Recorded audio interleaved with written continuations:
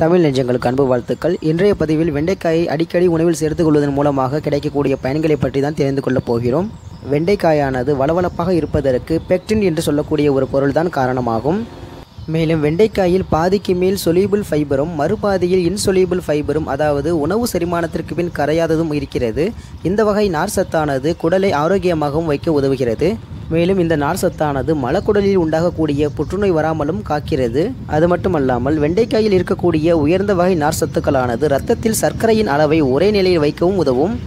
அதுபோலவே ஆஸ்துமாவின் தீவிரத்தை குறைப்பதற்கு வெண்டைக்காயில் இருக்கக்கூடிய விட்டமின் சி ஆனது பயன்படுகிறது. அது மட்டுமல்லாமல் வெண்டைக்காயில் இருக்கக்கூடிய கொலகொலப்பான சத்தானது குடலுக்கு இதத்தை அளிப்பதுடன் வேண்டாத கழிவுகளை வெளியேற்றவும் உதவி செய்கிறது. மேற்சொன்ன அனைத்து செயல்களையும் புரிவதால் இந்த அற்புதமான காயானது பல நோய்கள் நம்மை அண்டாமலும் தடுக்கின்றது.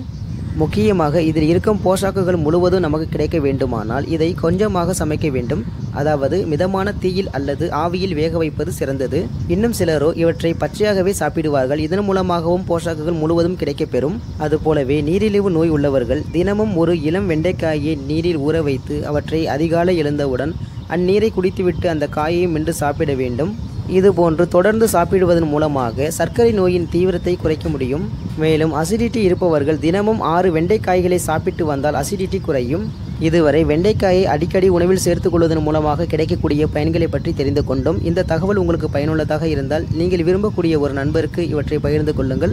மேலும் நம்முடைய சேனலையும் சப்ஸ்கிரைப் செய்து கொள்ளுங்கள். நன்றி.